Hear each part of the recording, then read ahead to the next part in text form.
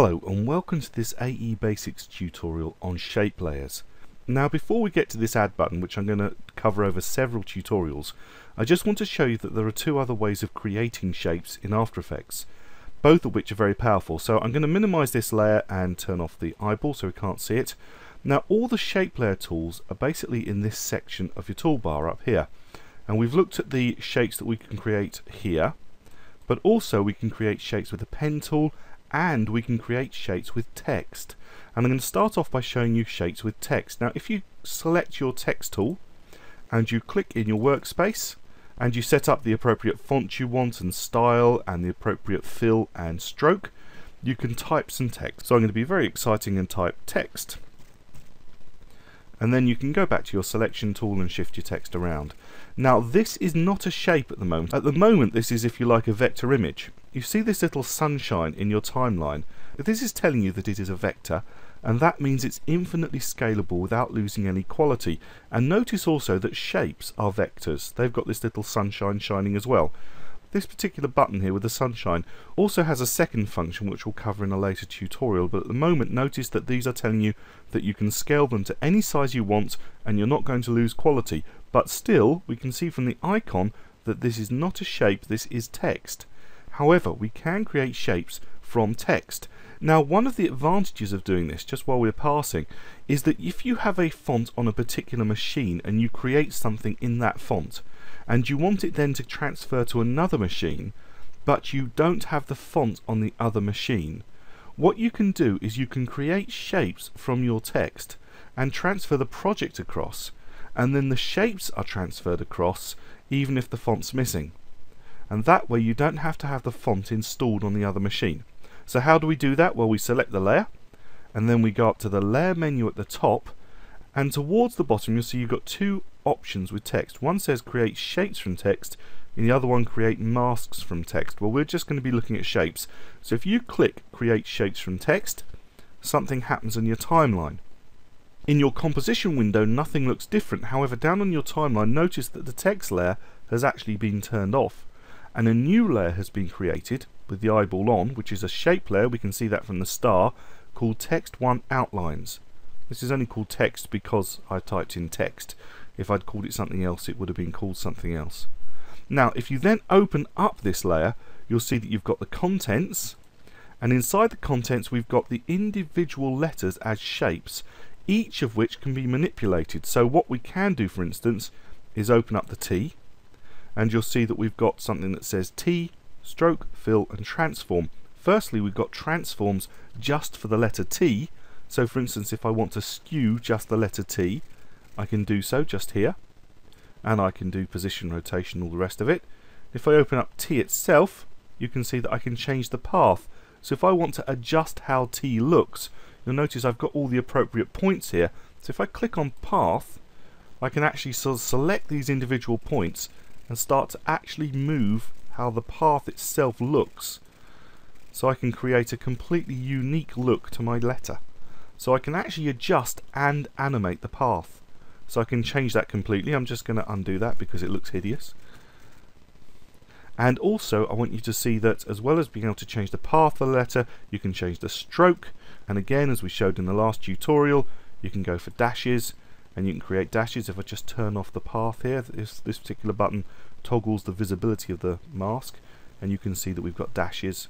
We can change the stroke width, we can change the colour, we can do all the normal things that we can do with any shape all of it is available for each individual letter. So at the moment I'm just going to skew this one slightly and then I'm going to close it so we can see all of the letters together. Now I can do that for individual letters but also a very helpful function that doesn't mean that you don't have access to these features but means that you can also change the whole thing in one is to actually use this add button here. But before we do that let's click right at the top so the actual layer is selected and we're not still selecting something inside one of these letters.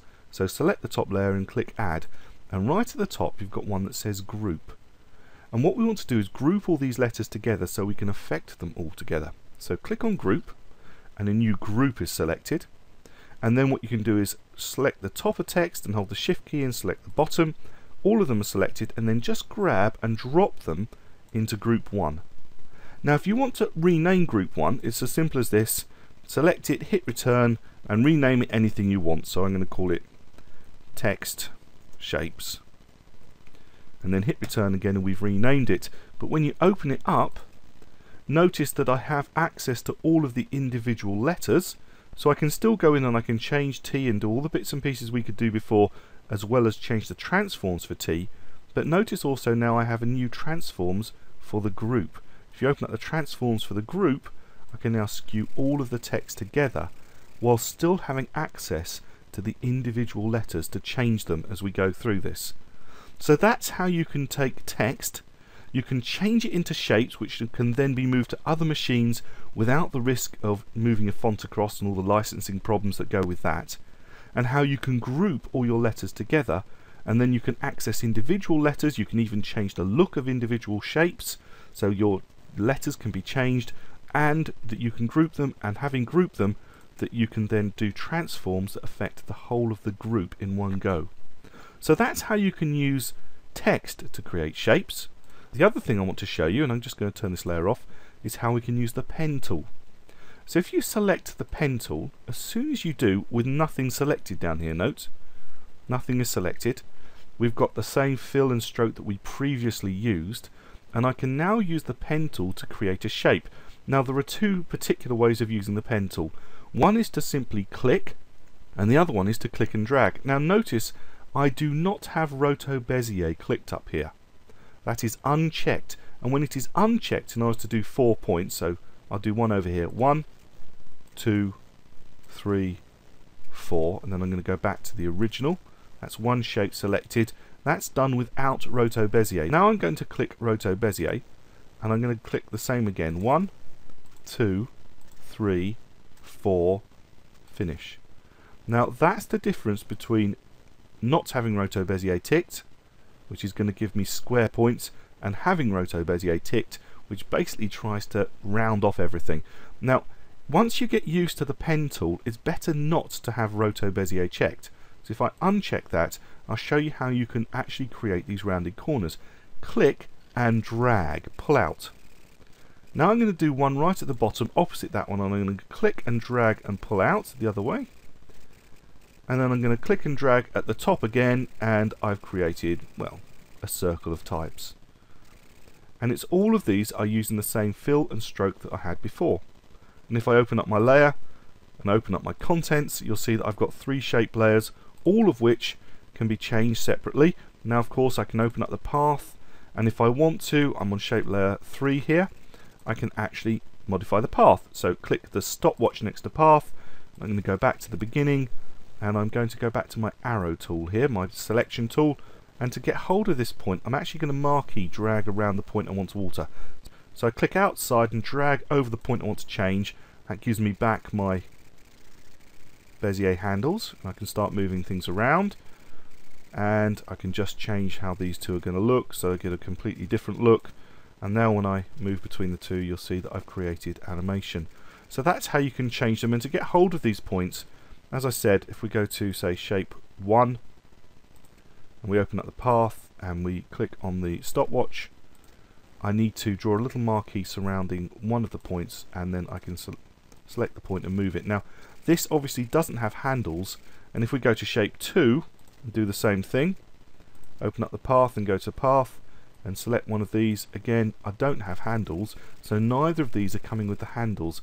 This is why I much prefer to actually not have Roto Bezier selected and do the click and drag method because if we go back to shape 3, select the path and then do the marquee selection around the points, again I've got these wonderful handles. Now if I want to break these handles, I can click and start moving one and while I'm moving it if I then hit the alt key or the option key I can now start to move things around and now once they're broken I can move them independently. If I go to the bottom one again they're linked. And if I hold the Alt key while I'm moving it and change it and now I can move it as I like and I can create some weird and wacky shapes. And then of course you can build up your characters with this. You can go in there and you can do all the things that we've done before. You can change the stroke. You can change the fill. You can add dashes around the outside. And of course you can transform individual items without having to worry about all the others so there's an awful lot you can do just by using the pen tool and the pen tool is a fantastic way of creating characters. You can create heads and you can create bodies and of course you can animate them over time by changing the path.